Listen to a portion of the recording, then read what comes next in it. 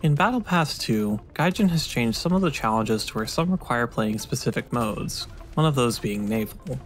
While I think this is a very poor decision as it forces players to play modes they may not want to, it's just the reality of the second Battle Pass.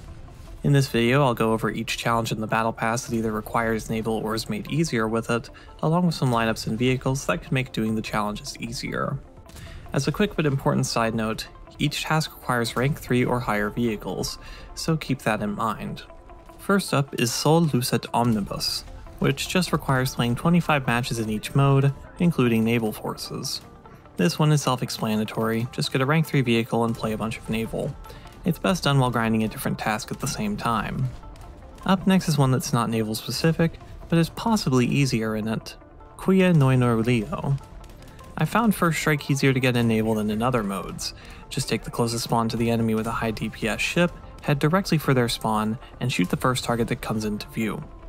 This should hopefully be a bit faster than in tanks and planes, though that might depend on what vehicles you're using, playstyle, things like that. Alea Iacta Est requires 40 kills using vehicles from this Battle Pass season.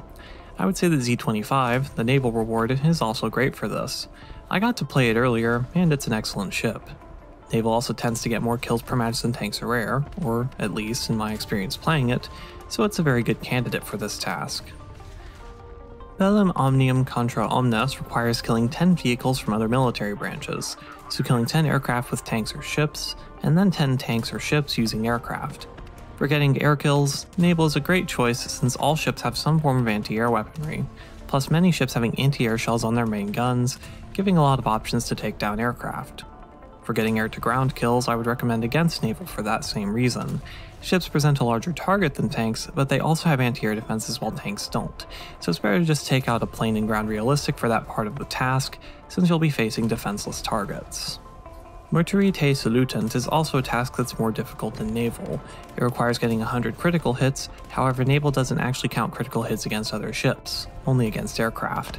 It'd be better to do this one in ground forces, probably with something that has a rapid fire autocannon to farm multiple critical hits off of a single target. Dum Spiro Spero requires getting 30 kills while critically damaged or on fire.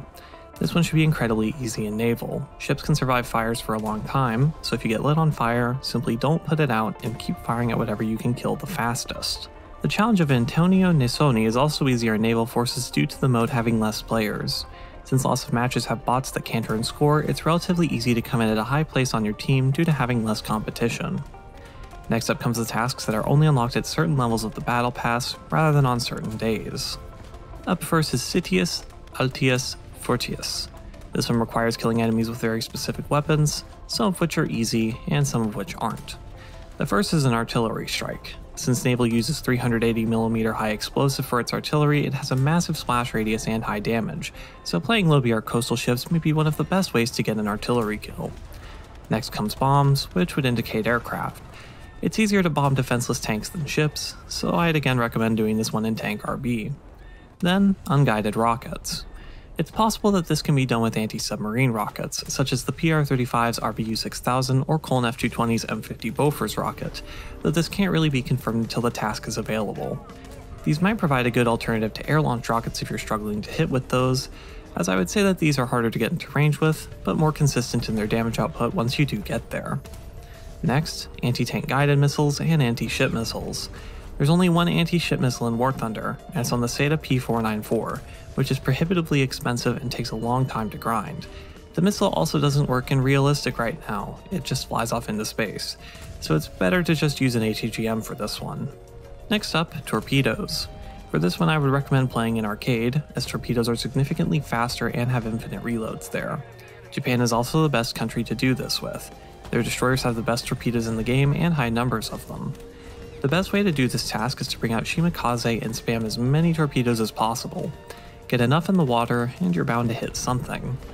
You can also spawn a small and fast coastal ship, trying to get in close and drop a surprise torpedo into an enemy. You can also do the torpedo task in aircraft, in which case I would recommend targeting low battle rating destroyers without much anti-air weaponry. Last up is depth charges. This requires playing naval, and it's probably the reason lots of people clicked onto this video.